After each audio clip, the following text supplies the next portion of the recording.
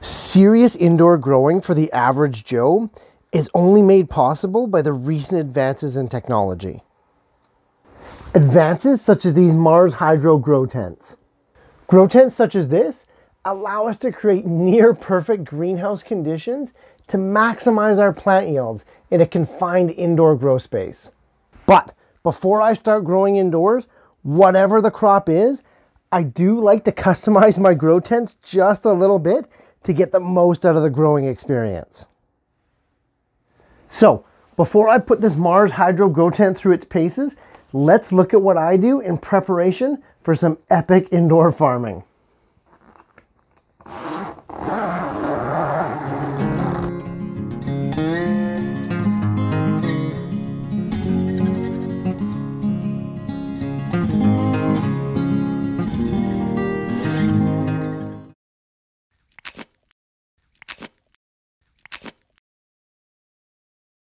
As I showed you in the original unboxing video, assembling the Mars Hydro series of tents is really quite simple.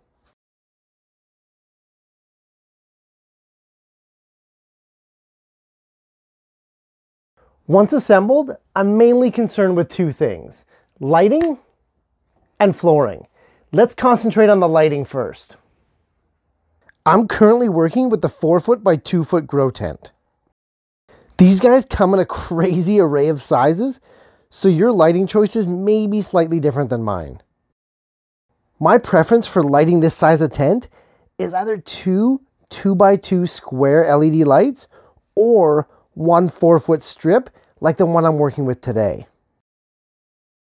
Light installation in these tents is a breeze, and once you're comfortable with both your choice and your installation, we can now move on to the floor. These tents are somewhat waterproof, but I would never rely on them to hold water. I always line the bottom of the tent where my pots are going to sit with an appropriate size Rubbermaid. The under the bed storage ones are great. It just prevents a lot of possible mess, trust me. However, before we worry about any possible water leakages, we have to worry about the temperatures of our roots. Because my grow tent is resting right on concrete ground, I always line underneath my Rubbermaid tote a layer of insulation so that I can avoid completely chilling out the roots of my plants. If I'm growing indoors, quite likely it's going to be a tropical plant. So keeping those soil and root temperatures above a certain level is going to be super important.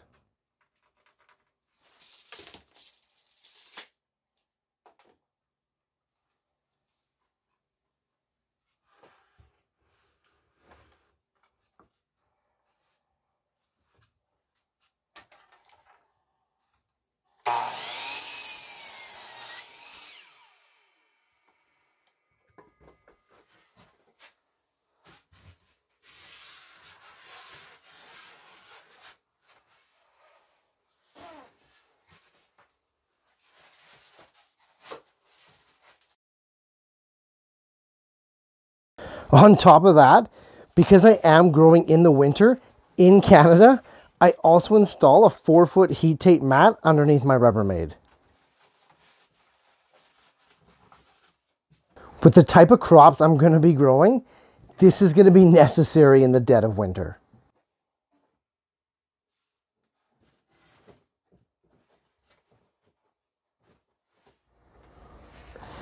Now we're all set up ready for any conditions that winter may bring.